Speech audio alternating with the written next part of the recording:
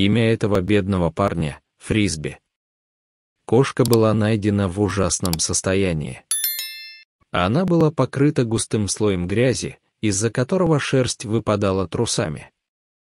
Сама кошка выглядела как огромный запутанный ком из шерсти. Волонтерам пришлось очень постараться, чтобы поймать фрисби.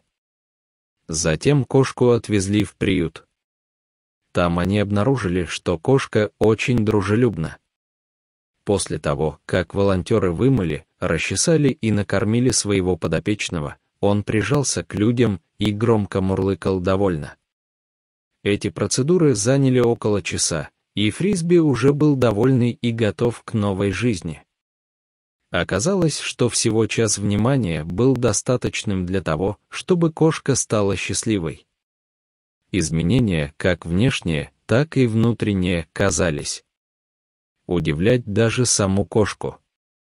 Кроме того, потребовалось всего один день, чтобы кошка перестала быть бездомным животным и стала хорошо кормленным домашним питомцем с круглым животиком.